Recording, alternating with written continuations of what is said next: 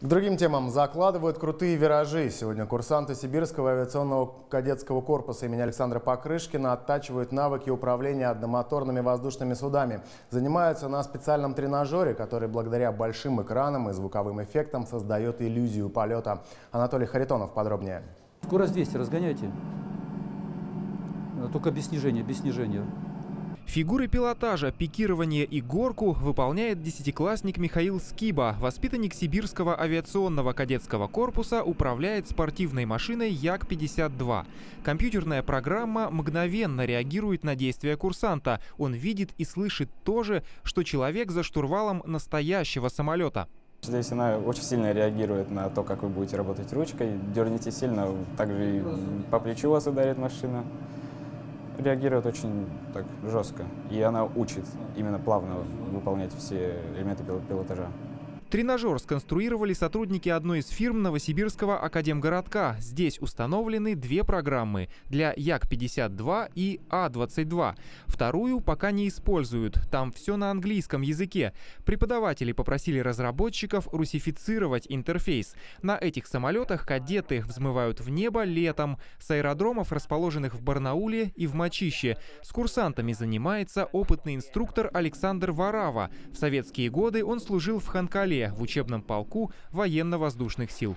Смотрим, что так, что не так, что он понял, что не понял, или не знает, или не умеет, или не видит. Вот три причины, которые нужно найти в человеке, в будущем летчике.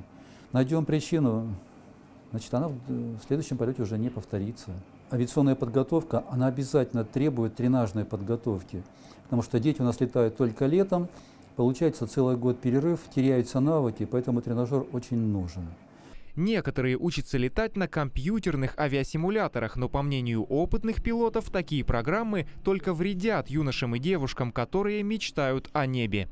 И вроде бы тут все как на тренажере. Приборная панель, штурвал, даже звук двигателей слышно. Но проблема в том, что угол обзора не тот. Нет ощущения того, что сидишь в настоящей кабине. И самое главное, управляя самолетом лишь с помощью клавиатуры, курсант не развивает мышечную память.